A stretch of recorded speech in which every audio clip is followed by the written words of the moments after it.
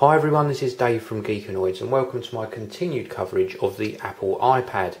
Now, quick update for you, if you haven't seen my other videos, please do check out the main Geekanoids channel. I've got a whole host of videos covering the iPad with various application reviews and a good product tour of the device itself. Well, this is my fifth video and in this video I'm going to be covering the Mail application that comes pre-installed on the device. If you saw some of my earlier videos, I was going to cover this Mail app in another video, but due to technical issues, I've had to reshoot it. So let's get this video underway and launch the Mail app. We're actually in portrait mode at the moment, and in this particular orientation, you're presented with the main body of the email taking up the whole screen. If you want to see what other emails you've got in your inbox, you simply tap the inbox icon at the top of the screen and then you're given this overlay sort of pop-up menu come up and this shows you all of the emails that you've actually received for this account. I can tap on another email and then it will show me the email again full screen so you get a real nice large display in this view so you can actually scroll through the email again.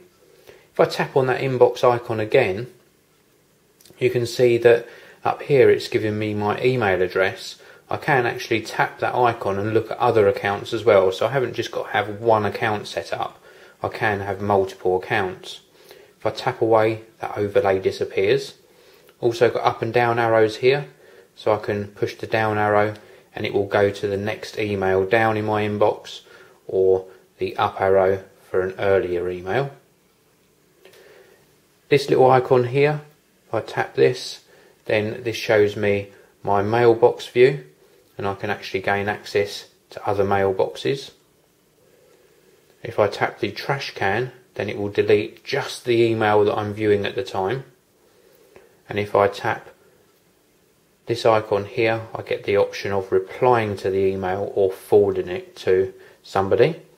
And the very last icon is for composing a brand new email. So here the on-screen keyboard pops up and I can type the iPad. When I've finished it I can click send. I can add more than one recipient or I can cancel to go back one stage and back into my inbox.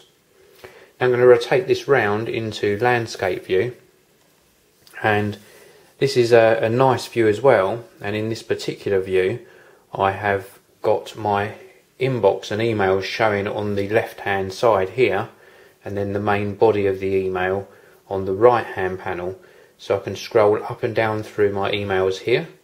I can scroll up and down through the content of the email on that right hand panel. Again I can go back to select a different account same icons here for uh, the various actions I showed you earlier uh, another good one is that I can actually, if I want to get rid of one email, I can slide across and a delete icon comes up. So I can delete just from this panel here. Or obviously the other option is hitting the trash can. If I want to delete multiple emails, I can tap the edit icon. And then this greys out the right hand panel. And then in this panel here, I've got little radio buttons. And I can tap on these and it will stack up all of the emails that I select and then I've got an option of either moving those to another folder or another mailbox or deleting them. So if I hit delete, it will delete all three emails I selected. So really easy way of managing your emails. So that's the Mail app uh, on the Apple iPad. I hope that gives you a good overview of how it functions. I think it's very nice to use. It does also offer up uh, a sort of simple way of doing multitasking in the fact that if I click on a link that's embedded in an email, it will open up the Safari browser, but it will keep the Mail app running in the background. As soon as I close Safari, it goes straight back to the Mail application. So a form of multitasking between the Apple supplied apps is definitely there on the iPad. Well, thanks very much for listening and do come back soon to the Geekanoids channel to check out more tech related video reviews. This video review is sponsored by EazyDraw making drawing fun on Mac OS X.